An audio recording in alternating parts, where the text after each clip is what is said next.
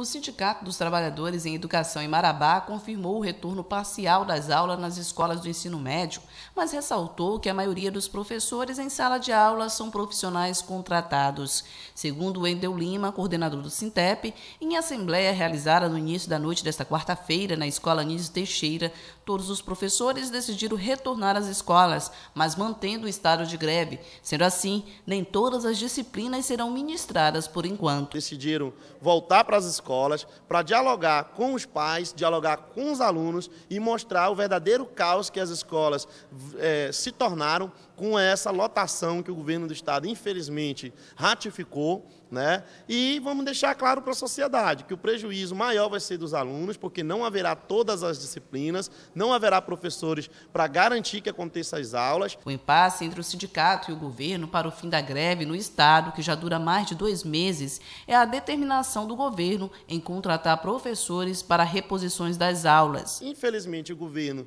de forma imatura, mais uma vez disse que não ia garantir esse acordo, que vai descontar as faltas e que vai contratar servidores temporários para fazer a reposição para garantir os 200 dias letivos. Por isso, a gente quer alertar o Ministério Público, alertar os órgãos de controles, alertar os conselhos tutelares e a própria sociedade. Isso não será possível, não há professores para contratar e o que nós estamos observando é que o Estado, além de dar um calote nos trabalhadores, quer dar um calote agora nos estudantes e na sociedade de todo o estado do Pará. O Wendel acredita que, ao invés do encerramento da greve, o movimento deve ser reiniciado, mas agora mobilizando também os pais e alunos. O que vai acontecer é que essa greve vai acabar reiniciando em Marabá, só que dessa vez com o apoio dos pais e com o apoio dos alunos. Infelizmente, por conta dessa postura que o governo tomou, muito equivocada, de pressionar com desconto do ponto, que eu acredito que não vai funcionar, até porque os trabalhadores,